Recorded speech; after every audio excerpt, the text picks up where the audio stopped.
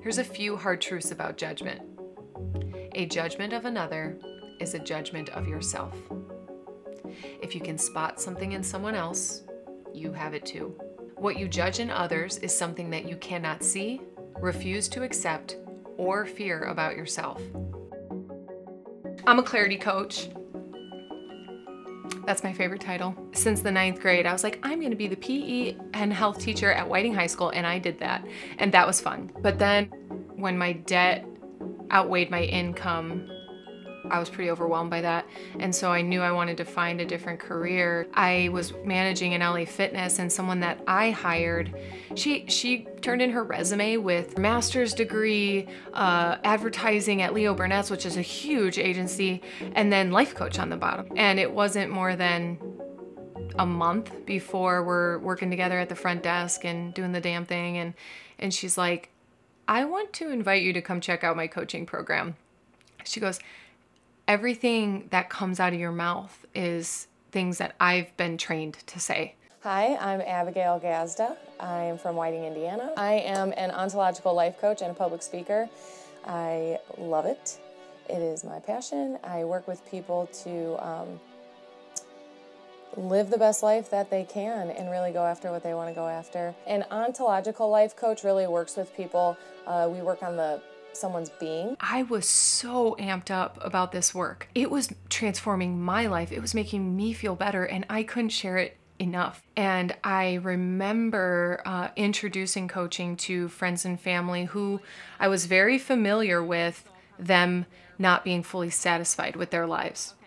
And so I said, you got to check this out.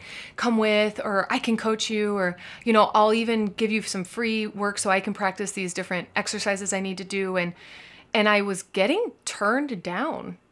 And I was like, I don't get it. You said you don't like your life and I I had to come to accept that some people would rather complain or talk about how they don't like their life than ever do something about it. Nobody needs fixing. I, I talk a lot about that in coaching, but when I see my people unhappy or sad and depressed or struggling, like I would I would give my whole life for them those people to feel great and where I am now like I relate to everybody as my brother and sister but you better believe that when I saw the people that I grew up with struggling I I'd do anything I can to help them out.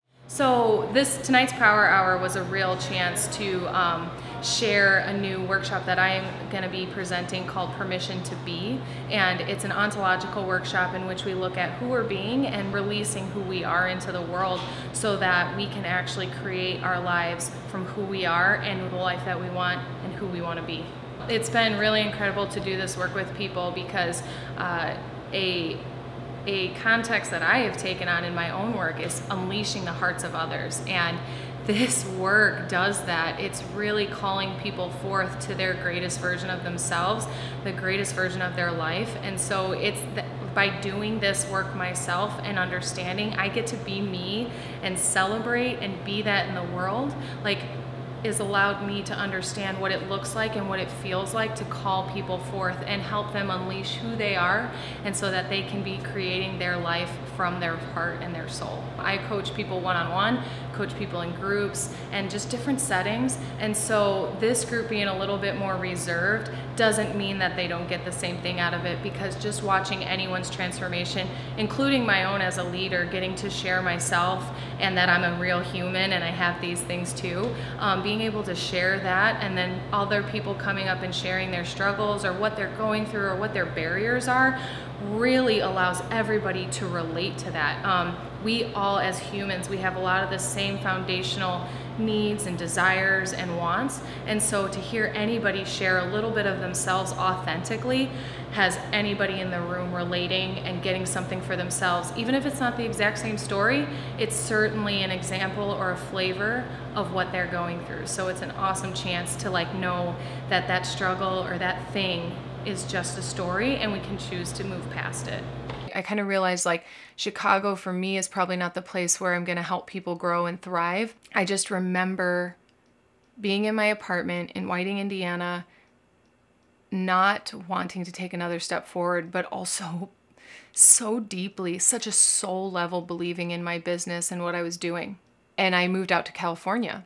I got rid of 70% of my possessions and I moved with what fit in my Jeep. It caused me to look at like what's important, what's not important, what do I want, what do I not want, and has really helped me to release a lot of things. There were literally so many things, a lot of memorabilia kind of stuff that I was holding on to specifically out of identity or in need to feel important or remember who I am, where I come from, because going through divorce really rocked my world. I remember being in so much emotional pain, so much turmoil. I was sadder than ever because I had never felt so rejected. And, and also just very confused about how I always thought I was being myself, and I was told that wasn't good enough or I don't want to be married to that and I'm like I don't get it like what could I have done better or different and so I I was really um being tough on myself and I was also trying to like fix it especially fix the way that I was feeling. I was actually working an MLM business at the same time that I was starting coaching. And I, at the peak of that business, I backed out of it. I was like, I can't hear one more no. My heart is so broken. It was post divorce, I was still healing. And so every no hurt so bad. And on top of that, I made it very about me every no was a no to me, not to my services.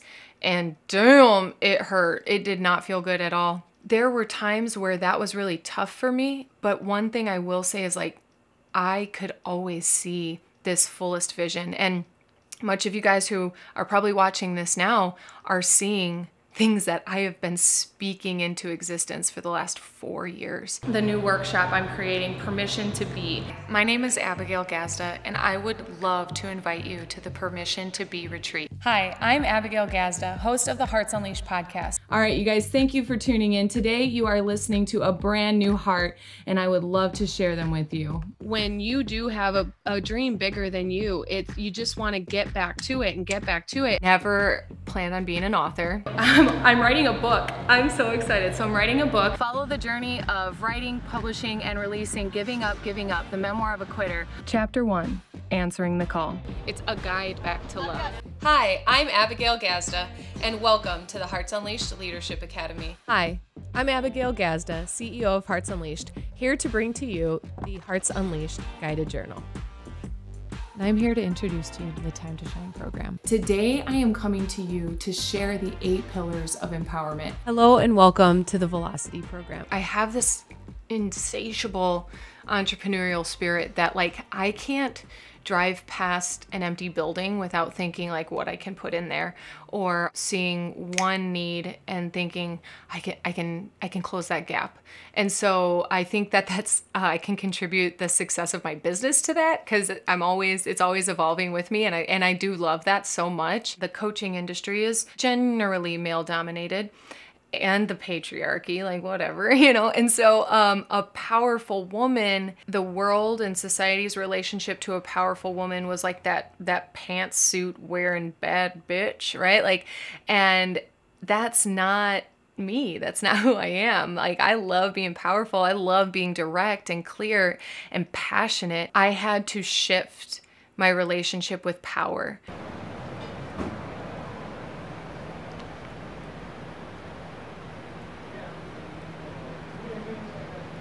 Position feels so much better. Perfect. Yay. The, rep- the way I choose to represent or memorialize my lessons in life are, are not so not so temporary. Self-discovery is this tattoo up here. Um, you guys have seen it in so many pictures and images and videos and all of that. And what this tattoo up here represents is wearing your heart on your sleeve you know, wearing your heart on your sleeve and the fact that so many people look at it and want to look at it, I kind of take it as a they're willing I'm willing to be seen and willing to show up as myself.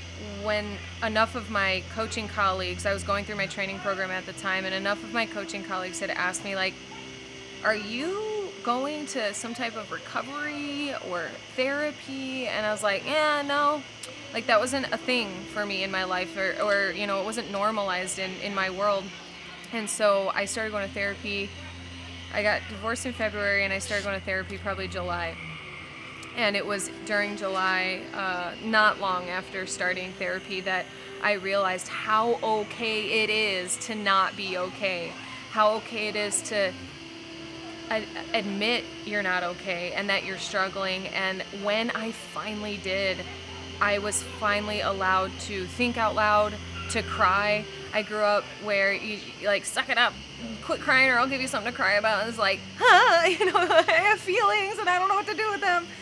And so it was, it was a, quite a relief to use therapy as a tool to be able to do that and to be heard and to also get really powerful feedback from a professional. I can't say it enough. I discovered so much about myself and um, things that I didn't like and things that I did like. Ooh, ah.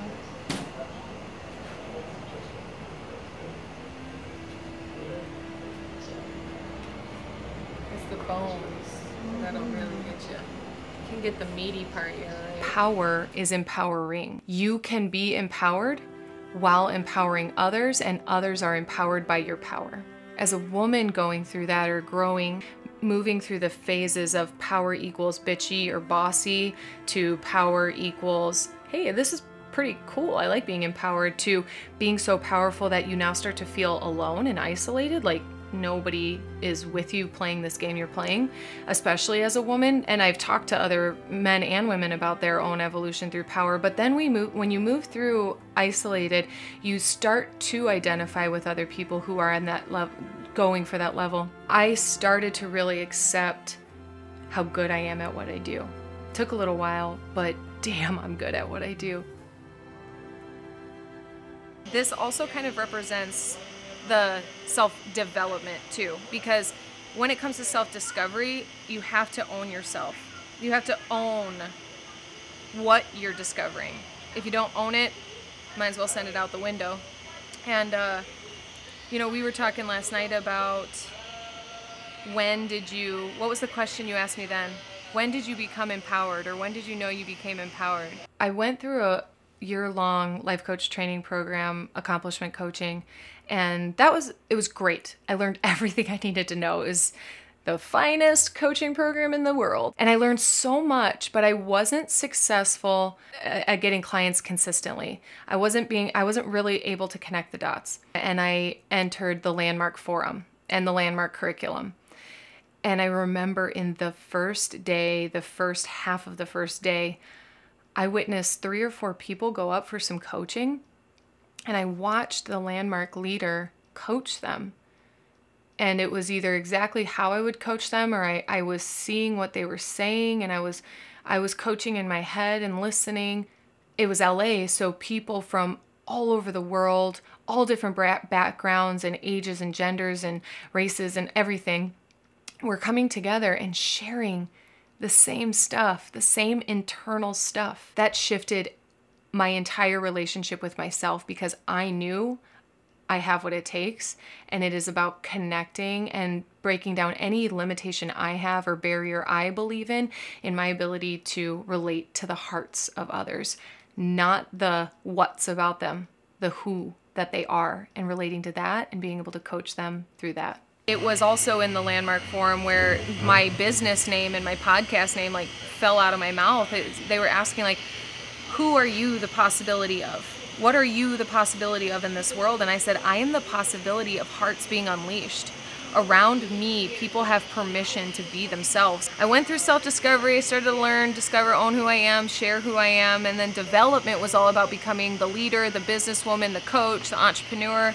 And then self mastery was knowing exactly what I offer in this world, being very clear about it, being very powerful about it. Self mastery is about understanding the essence, the soul, and the ego, the things that get in your way from being exactly who you are. And that we can't be exactly who we are if we do not master every single part of ourselves. And uh, that took that took a solid two years. I I had to accept darker parts of me. I had to explore darker parts of me. And so self mastery is about seeing and accepting and integrating all of those facets.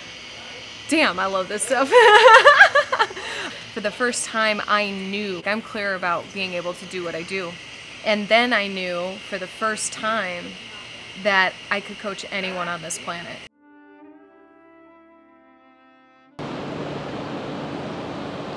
I met her about a year prior to that, but she was an accomplishment coaching. I'd say I felt like a victim. I was very like quiet and reserved. I played small. It was just my way of being at that time, you know, just everything that happened. And it took me probably six months to actually agree to work with her, and it it changed my life. I, have learned that I don't need to make other people happy. I need to live the life that I want to live to make myself happy. I'm not here on this earth to to do what other people want me to do. I, I just feel like I can do whatever I want and the things that make me happy are what I'm going to do. So I realized that my loving myself first also is top priority because once I do that then I like I can put love out to everybody. So that was really the biggest transformation for me is to realize that I am most important and taking care of myself is, is top priority. That was a big part of my transformation. Um, so yeah, it's been incredible. All right, TV photos. Abigail told me like three years ago. Like my transformation started three years ago. I ducked, I dodged, I did not want to transform. I wanted to you know, keep living the way I, you know, not that what the way I was living was bad, but I knew I wasn't living, you know, to my fullest potential. And so she said, gonna have to come out of the classroom one day. And I was like, yeah, right, this is my bread and butter. Eventually, I did. She's coached me through a lot of difficult times. My father's death, abusive relationships, a lot of trauma, like childhood trauma that I hadn't confronted. Um, going to talk to my five, that five-year-old girl who doesn't like authority, going to talk to that 17-year-old girl who thought that no one heard her. So, you know, with Hearts Unleashed, I get to have a voice. Um, I get to have a powerful voice. And so now I'm living in the present. I'm releasing, you know, those things of the past. Every day it's helping me to unleash my heart, to bring more people into the fold, to just let them know that their lives matter and that they can have what they want in life and live free, free, powerful, and self-expressed. If, I, if I'm not teacher, who am I? If I'm not spouse, who am I? If I'm not manager, who am I? And uh, this is when this was around the same time that I was going through my life coaching program, and I started to discover the essence of who I am. I am heart and vitality and power and grace and light, and that is who I am. And that fits in any what about me, right? Like I teacher, sister, daughter, friend, best friend, wife, anything that I can be, I'm going to bring the energy, the nucleus of who I am, of heart and vitality and power, grace and light. And I I hold on to that and there were days where I didn't feel good about myself or my life, where I had to pick one. I had to say, I'm bringing power today. I am going to be powerful no matter what. Grieving is very important. I'll never step over that. I had to grieve over my divorce. That was a real loss. That felt like death to me. And it was certainly death of many parts of me. And so as I decided to shed and shed and shed and shed, I really was able to identify who I actually am. And then I was able to take ownership over who I actually am. And that changed the game because it took some time to release, release, release there's a lot of grieving in that process. It's not just about someone dying, but like the actual energetic ending of a relationship or something, or even of your own identities. I believe in burning ceremonies as well. I'm big on fire, big on burning, releasing, letting go. That comes true for alchemizing judgment as well as being able to release the energy that an that actual substance holds and, and letting and experiencing it energetically leave your body as well. Ceremoniously burning something to mark the end of it. I remember I did this uh, for my sobriety journey. I burnt some things and uh, burnt some substances. endings, you know, we sometimes we have a relationship with endings as sad. Sometimes we have a relationship with death as sad. To me, burning and purposely announcing the end of something is, is much more of a celebration and an acknowledgement and like the, an experience of closing a chapter. My first ever experience with a burn ceremony was not mine. It was when I was very young with all the women in my family. Someone was going through a breakup And so all the women in the family got together in, in one of my aunt's backyards and we uh, lit up a fire and everybody brought something from like a relationship or an ending and, and they like, we all had a share and threw it in the fire. And I, I like logged that in my mind as, as important or as memorable and and also valuable and, and also a celebration. The other major burn ceremony that I had was after divorce. We burned so, so, a lot of different things that uh, signified my marriage and that was a really important experience and it was exactly one year uh, after my wedding. It was, should have been my first anniversary and it was actually a burn ceremony. That pulled more emotion out of me than I had actually expressed that year. I was surrounded by family and so I've just always known burn ceremonies to be very important, memorable, fun, and empowering. It's for me, it's healing, it's healing work, it's again marking the ending of something and and just so important for moving forward. Something that I think we don't understand we haven't really been taught about is the way that we carry our emotional baggage and carry it with us through our lives. And I knew that I was doing that before I understood what completing something meant or what coming to closure meant. And now that I know different methods of releasing, I, I, can set myself free by letting something go. I have experienced myself losing hundreds of pounds of emotional weight because I've become willing to let go. And yes, that represented relationships at first and things or people. But when it came down to it, when I started to release everything that didn't belong to me or had left already, when I started to release those things, I also started to see identities of myself that were ready to be released. And that just changed the game.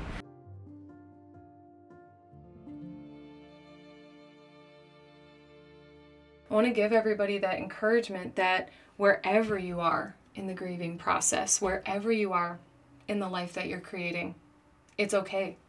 It's okay and it's going to work out. You just have to hold the faith and the vision and stay really committed to who you know yourself to be and who you want yourself to be. And that might look at like shedding other people's definition of success. It might look like giving up what you thought you wanted for what is presenting itself to you as a better life than you could ever imagine. Because you guys, when I grow are getting married right out of college and um, thinking I was going to be a mom in Chicago with babies and doing the thing and living in, near my hometown in Indiana and all that, and that didn't happen. I came out to California and I am living a life better than I could have ever planned for, but could have ever forced my hand at. And so you have to be willing to find out what's waiting for you by releasing what you're holding on to because what you're holding on to is actually holding on to you and holding you back in your life. And so might be time to release some of those some of those cut some of those cords if you will coming to the last stage of transcendence, which is exactly what this tattoo represents, is transcending our humanness. So out of every challenge, out of all the things we've ever faced, all the things that I've ever faced, um, none of it's going to stop you. After divorce for a few months, I was in my old patterning, this like athlete mentality of suck it up, tough it out, move on, get over it, you'll be fine. And and that wasn't working. It wasn't working. It didn't work. I was broken down, tired. I felt rejected, useless. Like I was struggling, struggling to show up to some days. And especially showing up to try to build a business was pretty tough because I didn't have a lot of self-confidence. I was struggling with self-worth. And so how long do you want to let something hold you back? How long do you want to wallow. I there were definitely times where I let things, I felt like a victim, and I will tell you, one of my personal um, points of pride is I do not like to learn the same mistake twice. I do not like to take long to learn a lesson. I do not like to sit in self pity. It has been a, a complete gift that I have to find the good in any and every situation, even in the most uncomfortable time, is remembering, gee, I can't wait to teach can't wait to find out what this is teaching me. I can't wait to get, garner the lesson from this because there is a lesson. And the quicker you can do that, the quicker you can transcend. Over the course of probably the last few months specifically, uh, I've been transcending in a way that I am very clear about um, owning my spirituality, owning my, my personal connection to God or universe or consciousness or source energy, whatever higher power anybody prefers, what I know it to be is love. The core of everything is love. And it's kind of fascinating because I knew that I knew those things even back when. And all of this transformation, this the blossoming part of this tattoo is about shedding anything that isn't true to the self and accepting all that is true and being willing to share it and show it off and live it out loud as to inspire others to look within themselves and find what's true for them. Alchemizing judgment is about constantly being able to receive anything on this plane and get it back to love so that we are actually a living, breathing, walking, talking example of what it looks like to be love in this world love and light and good energy. This all encompasses the three pillars that I believe are the pillars that are the keys to winning the game of life integrity, alignment, and faith. And integrity is about cleaning up life, getting complete in your in your life and clearing old trauma, uh, finalizing stuff, leaving your past in your past, and then getting things again in working order. Alignment is where integrity and faith intersect. And so alignment is about you being in alignment with your highest good, the highest good of all, your purpose and passion. So I teach you how to identify those things, and then I teach you how to constantly align and realign and realign and realign because you will get knocked off track because in the phase of alignment, you are a wide open channel for that third pillar of faith and that core source of love that is constantly trying to manifest in this world thoughts become things. Something that I heard the most in coaching was you can have it all. Because at this point in my life, I have a thriving business, a thriving relationship with myself, a thriving relationship with my higher power, with the people in my life, my loved ones. Like, that to me is having it all. And it's in holding the vision holding the vision of having it all. I go to bed saying thank you, thank you, thank you, thank you, thank you, thank you, thank you, thank you, thank you, thank you, thank you, thank you, thank you, until I fall asleep and I wake up and it's right there when I wake up. Thank you, thank you, thank you, thank you. I get to do this again. I get to have this again. I get to see and smell and experience this again. Thank you. Gratitude is having it all. Peace is having it all. Self love is having it all. Of course, it's going to show up materially in a relationship, in a connection, in a business, in a career, in a salary, in a car. In like you can have those things. Those don't come first. You be happy, you be grateful, and those things certainly come. Yes. Yes in this moment, I have it all and I will have it all because I know that nothing that goes away will take from who I am. So, yes, I have it all, you have it all, we have it all.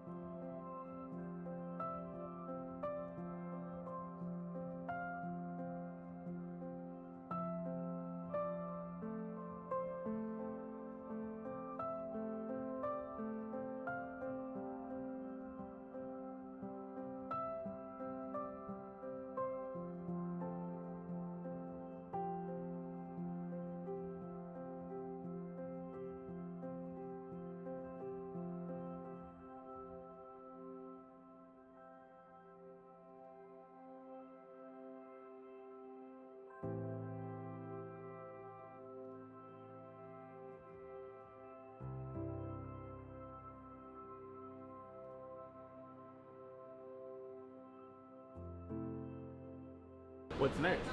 Ooh. What's next? Great question.